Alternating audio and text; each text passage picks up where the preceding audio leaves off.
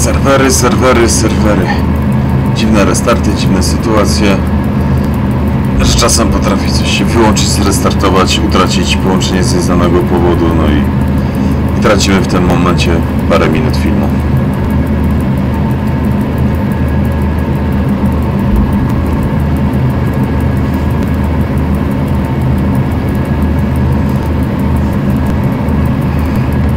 Dobra, słuchajcie, no to powiedzmy, że poplanowałem przerwanie w Olszamowicach.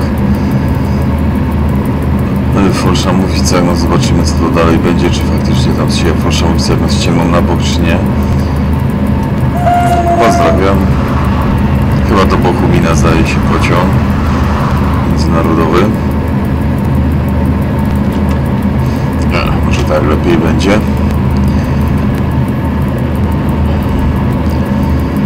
No dobra, domykamy sobie stację włoszczową, minęliśmy. Tam jak zacząłem mówić, zanim nam przerwało wszystko połączenie, to yy, wspominałem, że tam stacja jest... No, przepraszam. Yy, stacja wybudowana mniej więcej w 2006-2007 roku. No i że przed zbudowaniem stacji było tam gigantyczne bezrobocie w tamtych okolicach, wyludniało się. A po zbudowaniu stacji udania do użytku praktycznie do zera spadło. Budowało się na CMK połączenie, yy, że można bez problemu w ciągu dwóch godzin sobie dojechać maksymalnie nawet do Warszawy, w ciągu godziny do, do Katowic, do Śląska, no i co. No. Ludzie, ludzie zaczęli mieć robotę, jak to się mówi, na pracę. I się temat skończył z bezrobociem.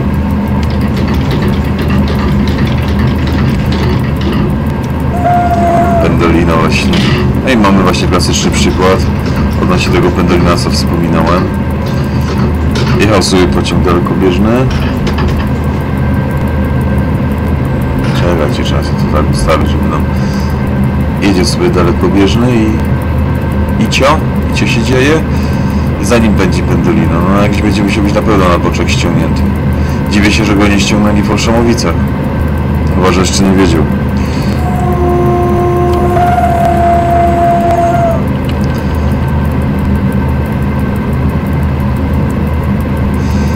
Wspominałem, że tu odcinek między Włoszczową a staje się Idzikowicami, tak, do Idzikowic aż. Jest już, nie ma tutaj na, wyłączony jest system ETC, znaczy wyłączony nie jest zamontowany w ogóle. A jednym z powodów, przede wszystkim jeśli ma być taki ETC zamontowany, to nie może być nie może być tego, co teraz mijamy w tym momencie, z, z czego co mi wiadomo. Przepisach unijnych, yy, polskich i unijnych jest, że jeśli chcesz mieć trasę kolejową powyżej 160 na godzinę, to takich przejazdów kolejowych nie może być.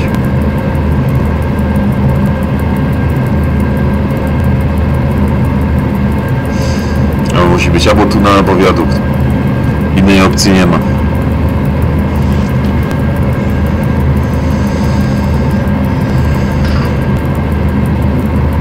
Dobra, dajmy sobie łyk energetyka zdrowego, teoretycznie izotonicznego, nie energetyka.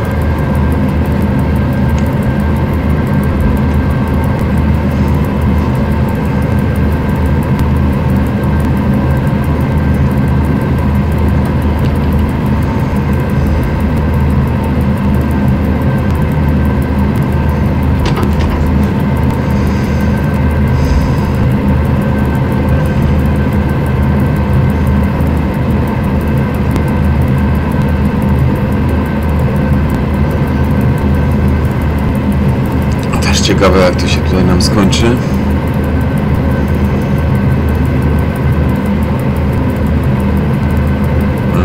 Wiadukcik kolejny, no właśnie takie wiadukty były, to też był kiedyś pamiętam przejazd kolejowy zdaje się, ale zdecydowali się na wybudowanie tego wiaduktu. No Właśnie takie wiadukty powinno się tu wszystko przestawić, jeżeli byśmy chcieli tutaj dostosować do prędkości 200 na godzinę. A jest 160, nie ma co marudzić, to też jest dobra prędkość. W linii prostej jedziesz, nawet 200 to już jest naprawdę super prędkość, chociaż są pociągi, co już jeżdżą nawet chyba po 400 km. Yy, czytaj Japonia. ale powiedzmy też tak zdroworozsądkowo, 200 to już jest naprawdę dużo, jak na polskie realia, 160, no słuchajcie, no, 160. Na autostradzie samochodem masz 140. Przy na autostradzie wyciągniesz te 140 wyciągniesz. Ale co chwilę depnąć na hamulec, bo jedzie jakiś samochód lewym pasem 120-130, no i... A tutaj masz pociągiem, pociąg mm, linię kolejową i pociąg dostosowany do 160. E, jeżeli dyżurni są zgrani, no to też jest to, to jest słowo klucz, jeśli są zgrani. 160 na godzinę. To wam powiem tak, czy jest to duża prędkość? Ja pamiętam czasy, północ Polski jechało się ponad 12 godzin. Pociągiem pośpiesznym, klasycznie. A jechały sobie 100 na godzinę średnio. Yy, I po niezmodernizowanych liniach, gdzie na przykład jakiś tam odcinek mógł jechać tylko 60 albo 70. Ja takie czasy pamiętam. Że taki stary jestem, ja pierniczę. Yy, jechałem w te wakacje, spędziłem tydzień w Breslau. No, Wrocław. Niemiecki. No teraz nasz polski, kochany, tak odcinek ode mnie z mojego rodzinnego, no nie rodzinnego, no w Krakowie, gdzie mieszkam, aż do Wrocławia pokonaliśmy w niecałe 4 godziny, 3,5 chyba, coś takiego. Prędkość średnia 160.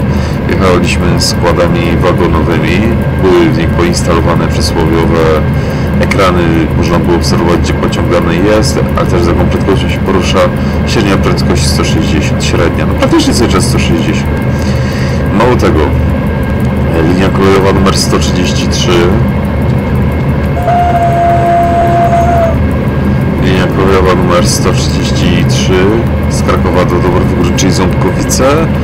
Ona idzie innymi przez Byle, przez moją rodzinną Trzebinie w kierunku Katowic. I do czego tutaj zmierzam? Pamiętam też za łebka ten odcinek Trzebinia Kraków pociągiem pośpiesznym bez zatrzymania.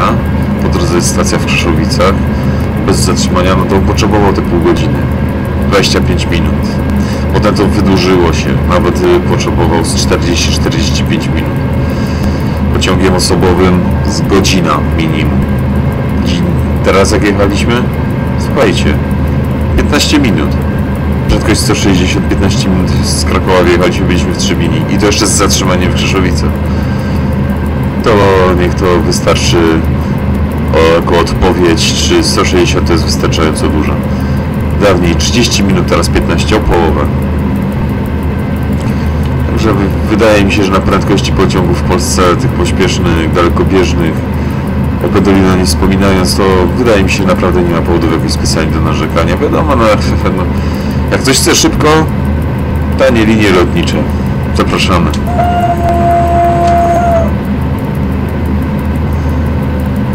Przechmurzyło się i się wyjaśniło.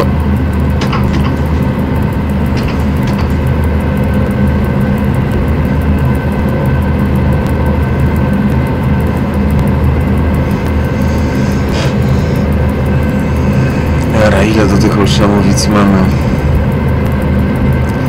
W tych Olszamowicach mamy niby być 33, już powinniśmy być.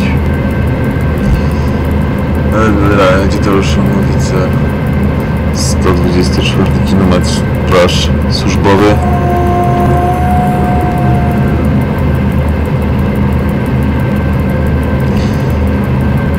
A co te służbowe tu wprowadzili z Mazowieckich? co to chodzi? Żeby się elfikiem przejechać po CMK?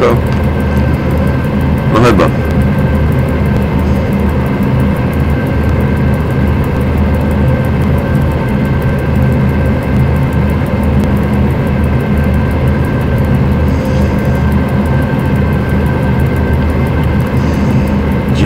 4 km 95 to nam powinno wystarczyć.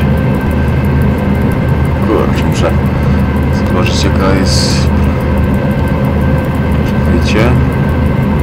133 124, 10 km do Szamowic, dobra. A, mańka, pociągnij nam trochę do góry.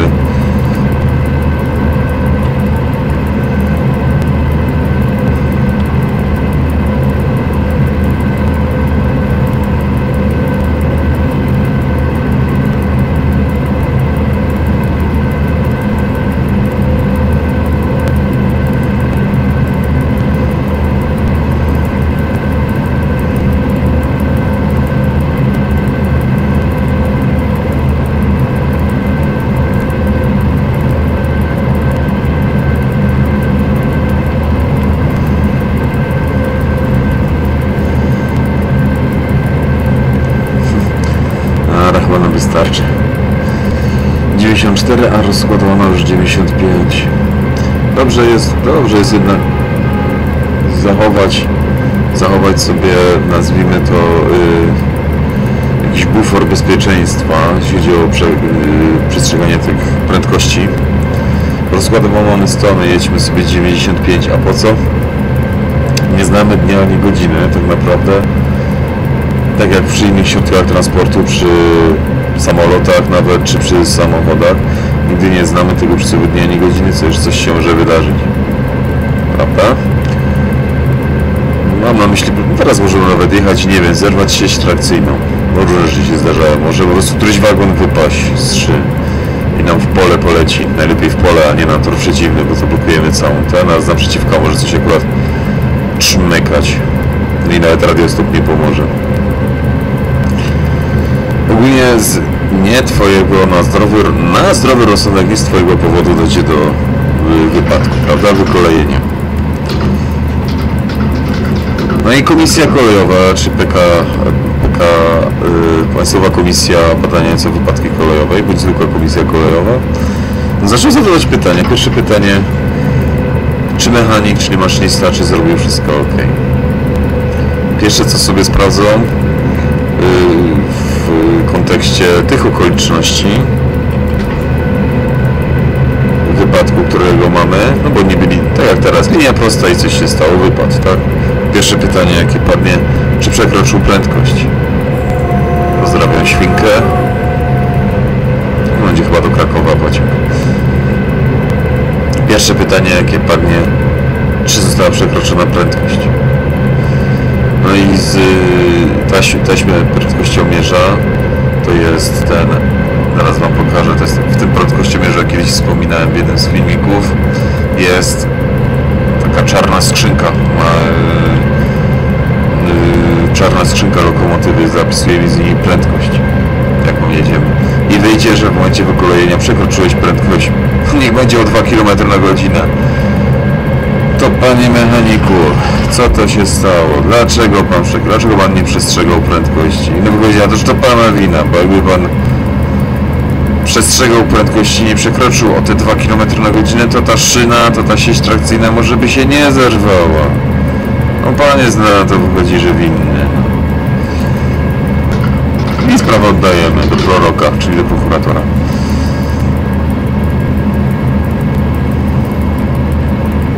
A tak to działa.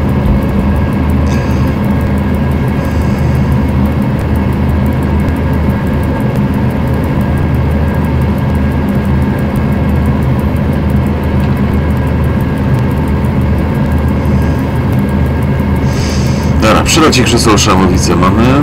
Na przynajmniej wjazd. Zobaczymy co to będzie dalej. Co tam na ostatnim semaforze, na, na, przepraszam, na semaforze wjazdowym, co nam za sygnały wyświetlą. Co tam się świeci, będziemy wszystko już wiedzieć.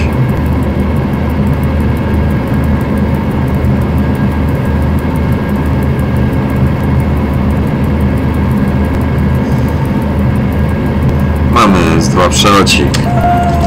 To lubimy. Dobra, to tutaj będziemy sobie przerywać, bo to przerwanie serwera nam z automatu zrobiło taką jakby przerwę.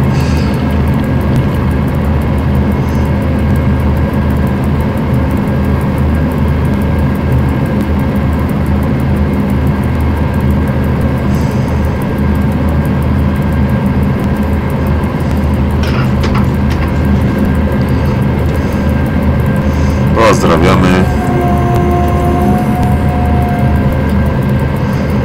Pozdrawiamy Durżunego z Olszamowic.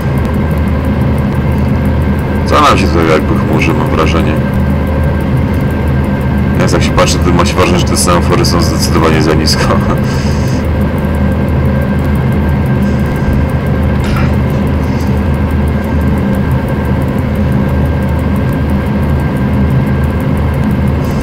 Tak.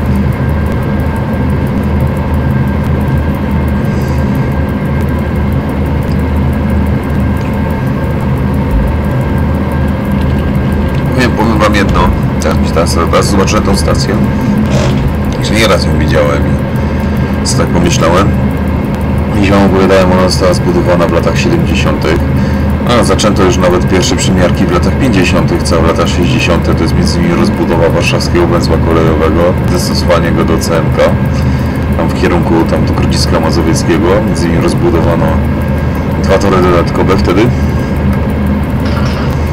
Ale jeśli chodzi o samą budowę tutaj tego odcinka z Grodziska Mazowieckiego do Zawiercia w latach 70. Już wtedy ją rozbudowano, budowano tak, jeśli chodzi o profile nachylenia i, i łuków, zakrętów, no łuków, na, no bo na kolei nie ma zakrętów, są łuki. Już wtedy ją budowano pod prędkość 200 na godzinę, chociaż nie było żadnego taboru, który by osiągał nawet 160, no ale już pod 200 ją budowano. Inżynierowie za czasów komuny już wtedy myśleli o tym, że w przyszłości być może pojawią się takie pociągi, co będą mogły tutaj jechać. No i faktycznie zwróci, trzeba zwrócić uwagę, co jakiś czas są stacje kolejowe, które są typowo nie tyle co jakimiś, tak nazwijmy to, technicznymi. Czekajcie, bo sobie prędko przekroczyliśmy.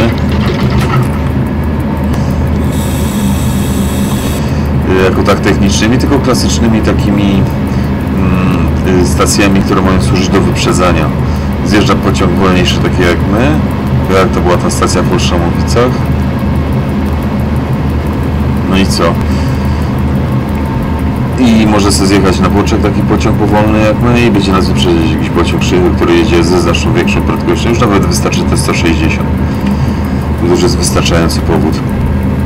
Czyli już wtedy myśleli to w ten sposób, że mogą się poruszać tędy pociągi takie wolniejsze i będą mogły być wyprzedzane przez znacznie szybsze, więc co jakiś czas trzeba postawić stację, która pozwoli pociąg wolniejszy ściągnąć na bok. Jedna zasadnicza rzecz trzeba pamiętać, jaki był zamysł zbudowania centralnej magistrali kolejowej wtedy. Ona miała nie służyć, tak przypominam, bo być może już o tym mówiłem, ale pragnę przypomnieć. Ona nie miała służyć do ruchu pasażerskiego. Do ruchu pasażerskiego była zastosowana linia kolejowa numer 1, potocznie zwana Wiedenką z Katowic do Warszawy, tam przez Koluszki, Piotrów Trybunalski itd. A centralna magistrala kolejowa miała ją odciążyć, głównie z ruchu właśnie towarowego, zwłaszcza z ruchu towarowego. A dopiero potem lata 80. zaczęto coś myśleć o puszczeniu tutaj pociągów pasażerskich. Między innymi pociąg Górnik z Warszawy do Katowic i pociąg Krakus z Warszawy do Krakowa. Wtedy przystosowane lokomotywy były zdaje się EU czy EP05 z, z czechosłowackiej Skody produkowane, które były przystosowane do prędkości właśnie Czesi jako pierwsi. Znaczy mm, Czesi nie budowali jej z założenia do 160 konstrukcyjnie, tylko też chyba do 120-125. Dopiero w Polsce stwierdzono, że ją sobie przebudują do prędkości 160, no i puścili nimi do CMK. No a potem to już pewnie wszyscy znacie historykę, jak się pojawiły w latach 80. skonstruowano konstrukcję i na przełomie 80. i 90. zaczęto wprowadzać lokomotywę EP09, zwaną potocznie epoką. Tak notabene szkoda, że jej tu w symulatorze nie ma. Aż dziwne, że się twórcy o to nie nie pokusili, żeby EP09 tutaj zbudować i wprowadzić.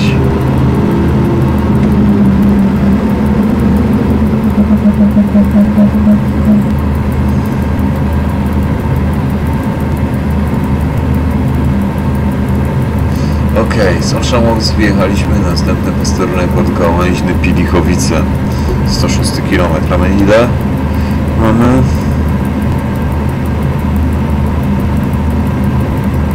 116 tam był? Nie, możliwe.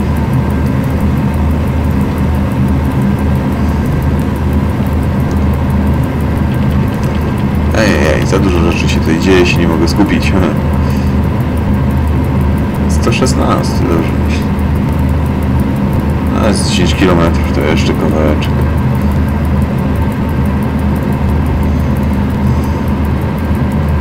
Co nam się tutaj coś chmurzyć zaczyna?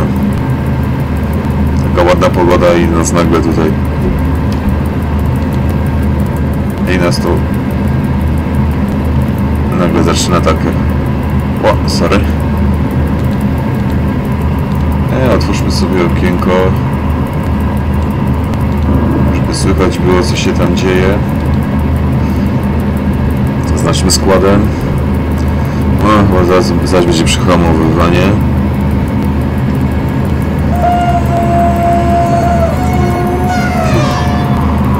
Pozdrawiam Cię. Też skargu, kolega.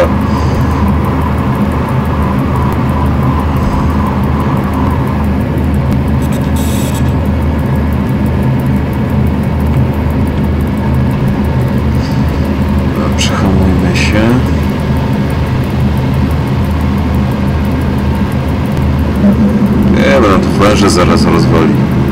Jak jest za duże ciśnienie. Widzę, że sprężarka już zareagowała, żeby upuścić odpowiednio. Jak mamy za duże ciśnienie w wężach, powyżej tych grubo, powyżej tych 5 atmosfer, mamy teraz 5,10. Zresztą jak na naszym wskaźniku tutaj wskazane może być maksymalnie tyle, ile jest to czerwone. My nawet przekraczamy trochę, to nic. Ale jak dojdzie do w okolicach tutaj tej szóstki, to gwarantuję, że mamy węże porozrywane. W realu. A tutaj to nie wiem. Nigdy jakoś nie sprawdzałem. Czy w symulatorze są takie szczegóły poinstalowane. Powinno być, nie?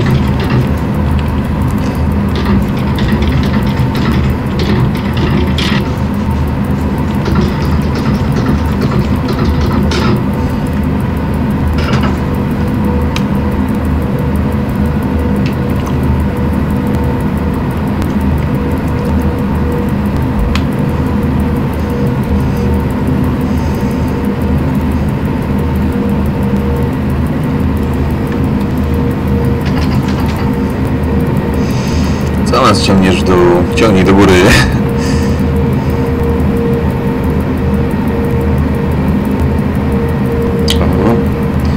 Trzeba maksymalną moc dać.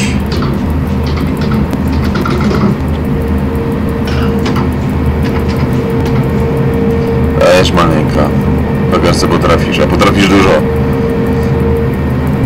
Co jak co, ale poczuwe byczysko to Mam nadzieję, że to jak najdłużej na polskich torach się utrzyma, bo jednak co dobry stary byk, seria 22 to, to jednak byk.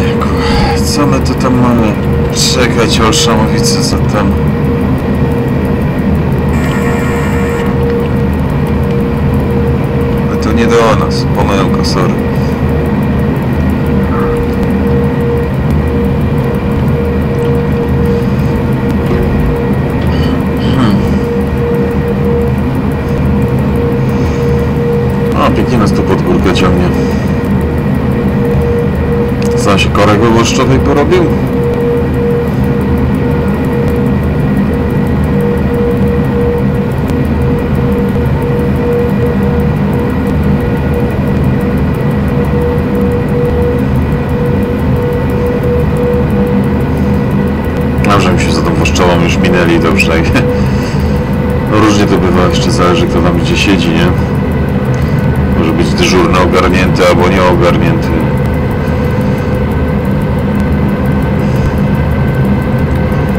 Prawda jest jeszcze taka, właśnie jak sobie gracie w tego dyżurnego ruchu, według mojej według mojej takiej wiedzy yy, coś co znacznie odbiega od mm, nazwijmy to takiego no, to jest niby symulator, niby gra, ale też staramy się żeby jakieś tam y, norm, realność, realność była zachowana, prawda, jeśli traktujemy poważnie. O, przepraszam, odbiło mnie. E, O co chodzi? Oprócz dyżurnych ruchów, które odpowiadają tam za obręb posterunku, za odcinek między posterunkiem swoim a najbliższym, no istnieje coś takiego jak jeszcze dyspozytor odcinkowy, dyżurny odcinkowy, dyspozytor odcinkowy. A on jest odpowiedzialny za, na przykład powiedzmy, dyżurny odcinkowy, no weźmy grę pod uwagę, mógłby teoretycznie być takie coś. Dyżurny odcinkowy między Dzikowicami a, a Psarami. i on odpowiada za koordynowanie ruchu na całym tym odcinku i on wydaje dyspozycję innym yy, posterunkom, na przykład typu Olszamowice przyjmuj pociągi na boczny tor, bo Włoszczowa jest zakorkowana, albo inaczej przyjmij, przyjmuj pociągi na bok, ponieważ w Włoszczowej jest jako osobowa, perony muszą być wolne, a w Psarach wszystkie towarowe zajęte, więc do Włoszczowej żadnego więcej już nie puszczaj towarowego. No, tak, tak to działa, to jest poster odcinkowy. On jest też odpowiedzialny, trzeba... O, sorry. On jest też odpowiedzialny za takie rzeczy. W Pilichowicach. On jest też odpowiedzialny za co? Za takie rzeczy typu... Aha, czekajcie.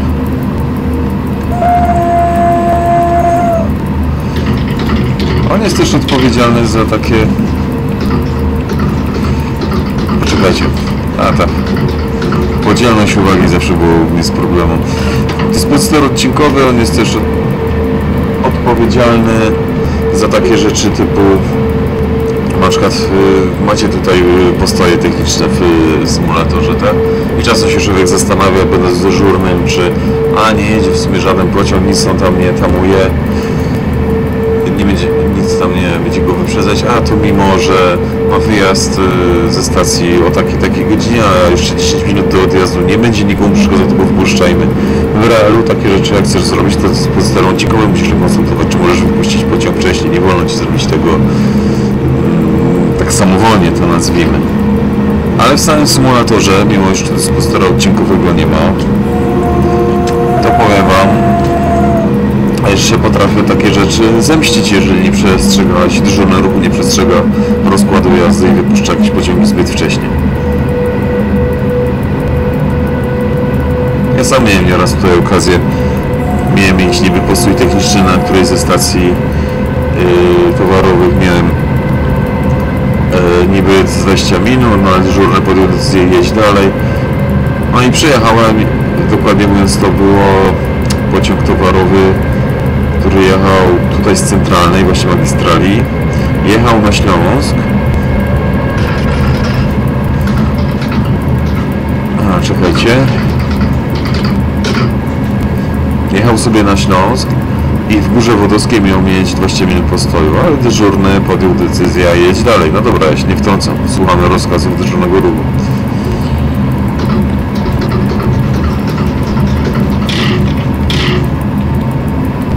E, słuchamy rozkazów dyżurnego ruchu, że przepraszam Was, przerywam tak trochę. Bo jak wspomniałem, jechałem na Śląsk i miałem w Górze, e, w Górze Wodowskiej 20 minut postoju, ale podjął decyzję jeść dalej. No jadę, jadę, minąłem Zawiercie, Zawiercie też mnie przepuściło. Po drodze był, była stacja w Łazach, trzy okręgi na Sacze też mnie puścili. Po drodze jeszcze Ząbkowice, Dąbrowa Górnicza, Ząbkowice. Też mnie wypuścili. I między Dobrową Górniczą Ząbkowice a Sosnowcem Południowym słyszę na radiu, kto wypuścił tego towarowego. My teraz jedziemy 20 na godzinę za ten towarowy inny lokalny. Ja też za tobą jadę, bo ty wiem, że kto wypuścił tego towarowego. No i, i linia się zapchała. A ja tylko słucham poleceń dyżurnego, przypominam. Tak, to należy do maszynisty. No i koniec.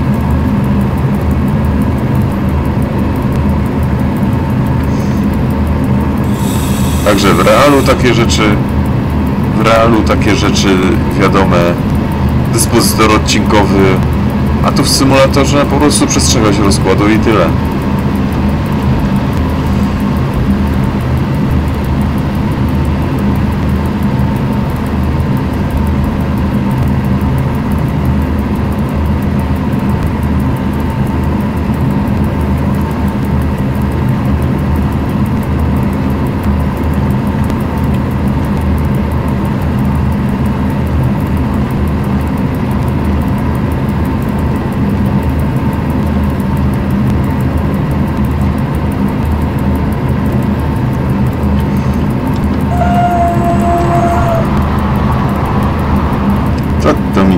zarywa ta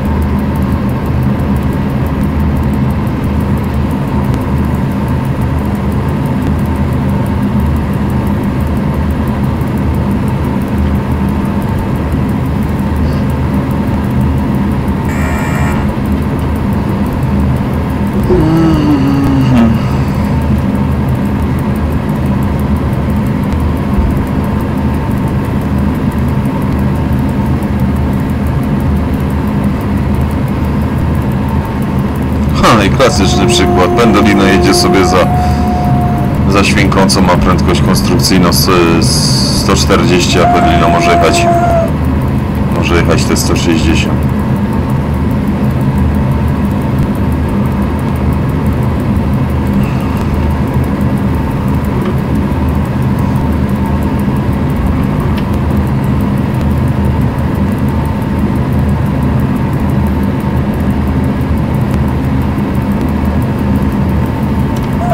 Stój tam. Nie wierzę.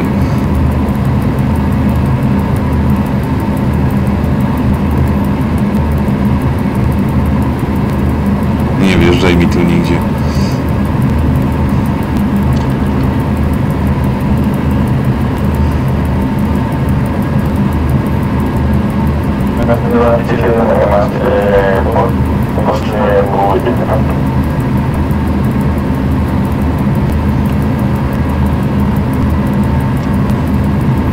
Coś tam w Fidzikowicach kogoś ściągają na boczek. Jeszcze do Oposzcza nawet nie dojechaliśmy.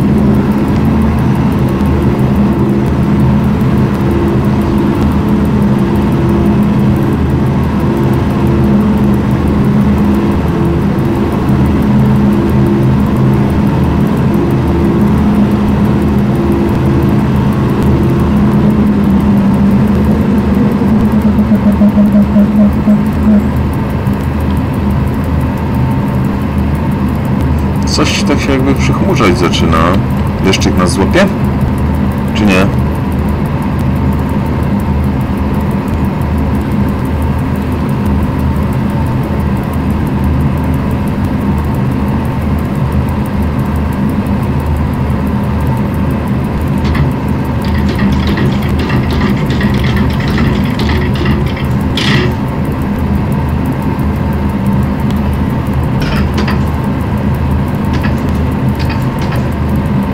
Nic nie ma sensu z tej odległości.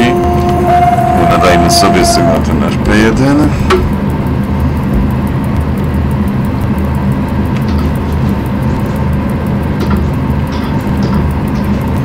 Jakiś przelot przez Opoczno?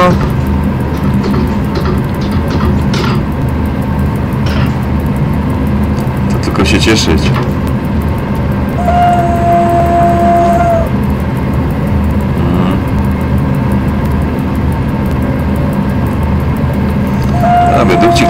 Powstaje jakiś. I dobrze.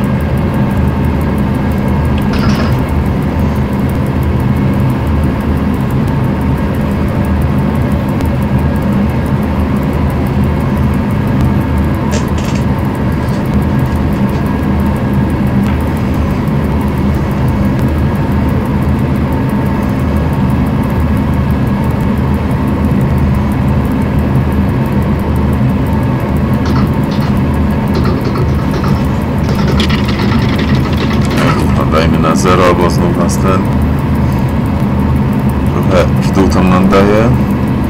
No i piękniej, to się podoba.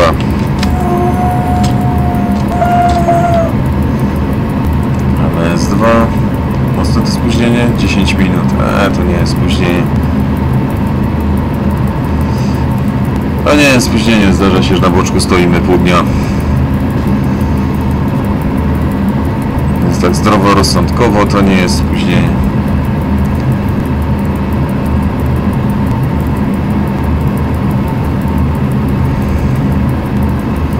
Proszę, dawna nastawnia wykonawcza. No, wiesz, już nieczynna.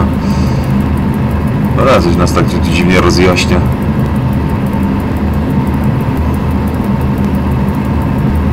Mhm. I mamy na boczku pociąg osobowy. Pozdrawiam Cię.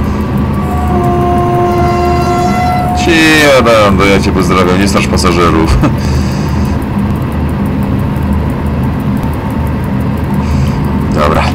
możemy włączyć nastawniczek do góry. O, pojawił się ktoś nagle na opocznie.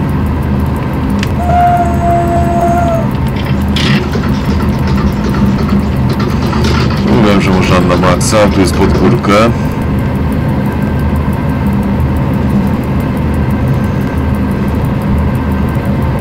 No już nawet patrzcie, Nastawnik maksymalnie. I już nas zaczęło w dół z prędkością ciągnąć.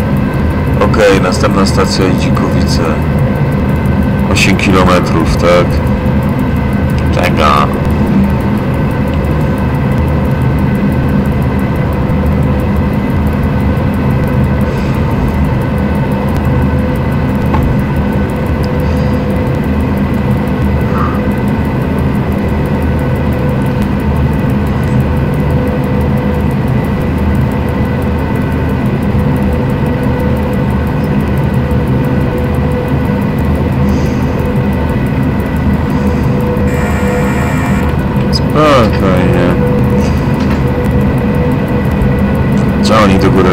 Góry maleńka.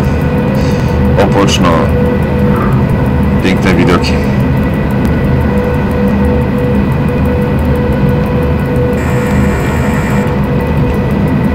Dzikowice nas coś nie mogą na odpowiednio wysłać, co?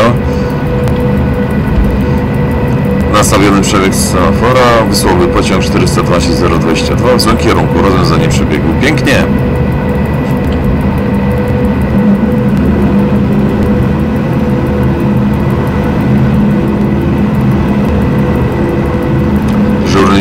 Dzikowic, obudź się! o, tak niestety bywa, nie popatrzą do rozkładu jazdy, tylko na rypał wysyłają, no i...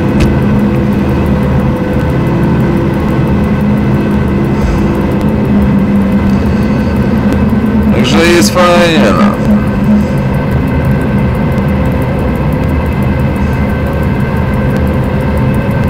Ale nawet ładnie zgrabnie przeszedł ten odcinek. Już w Dzikowicach powinniśmy to zakończyć.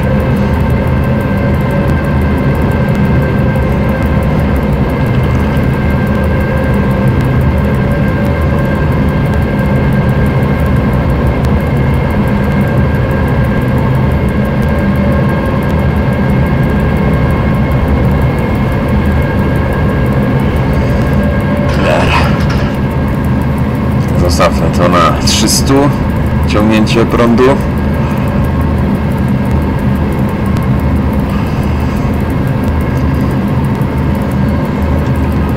Czego się drzesz? ja żartuję.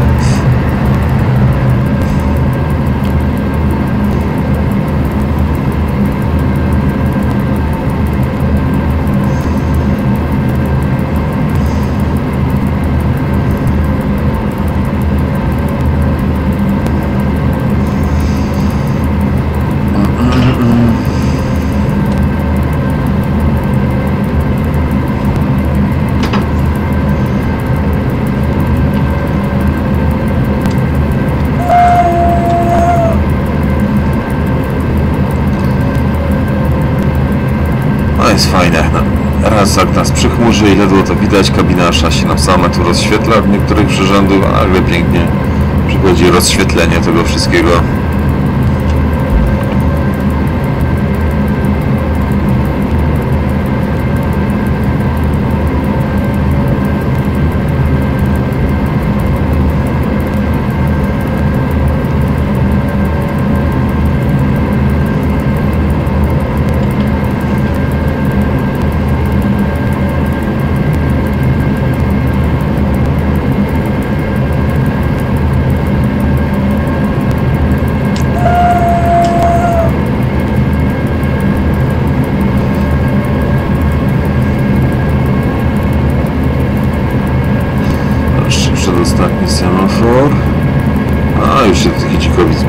Całości.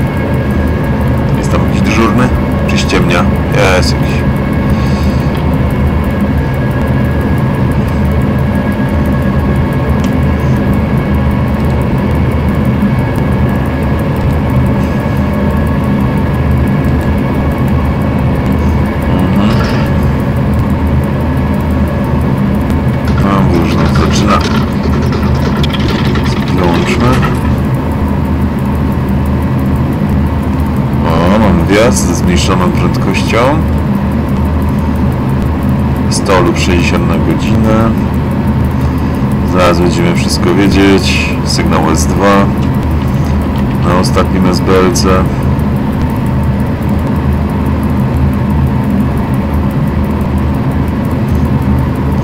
Dobra.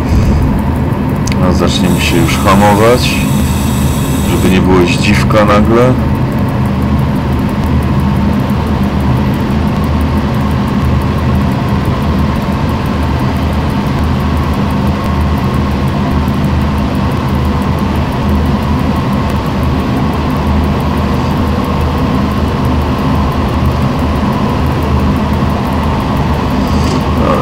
Dobra, I co my tam mamy?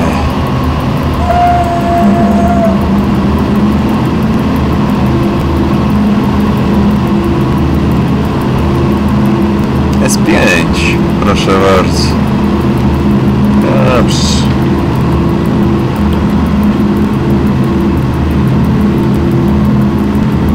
A, już się zdążyło zmienić, proszę. S5. Udowadniamy sygnał, czekajcie, niech nas sobie przypomnę. S4 na kolejnym 40 bądź 60. A do 60 już jesteśmy wyhamowani. No i co, no mamy stację w Fidzikowicach. Jedna z największa stacja na centralnej magistrali kolejowej wraz z, różnymi warsztatami tabo remontu taboru Intercity, Polregio.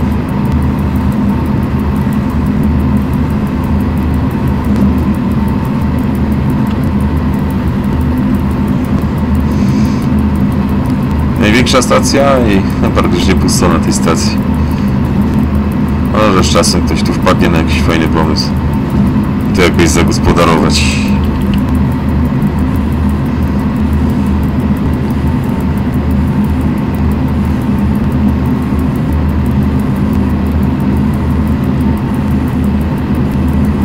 Dobrze, zobaczymy zaraz co tam będziemy mieli na...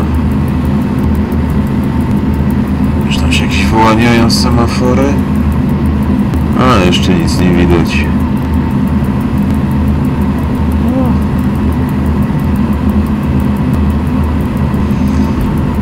S10, proszę bardzo.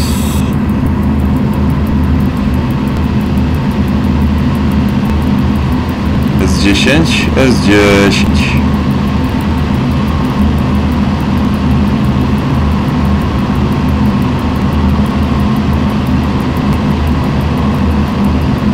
Czyli prędkość 40 na godzinę.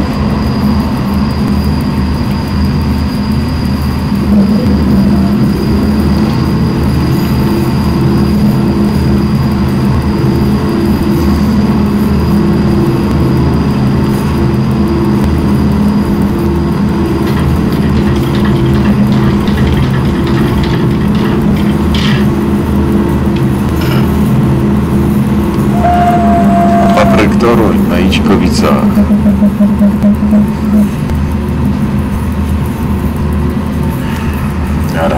Jedziemy sobie tutaj. A już będziemy kończyć. Proszę. Zjeżdżamy. Jest zwrotnica ułożona. Będziemy zjeżdżać w kierunku Radzic. Ach, uwielbiamy tą, słuchać tą pracę. Kół na zwrotnicach. Dobra, słuchajcie, co tu może być więcej ciekawego? Zaraz się tutaj mapka kończy, tu do Radzic więcej nie ma. Słuchajcie, no co, no do zobaczenia w jakimś kolejnym odcinku na trasie. Może coś jeszcze ciekawego się uda nagrać, czy co. Także... No co mogę wam powiedzieć? Miłego... Miłego, miłego początku roku szkolnego, bo nagrywam ten filmik w ostatni dzień wakacji. Także do zobaczenia w jakimś kolejnym. Na razie, cześć, miłego.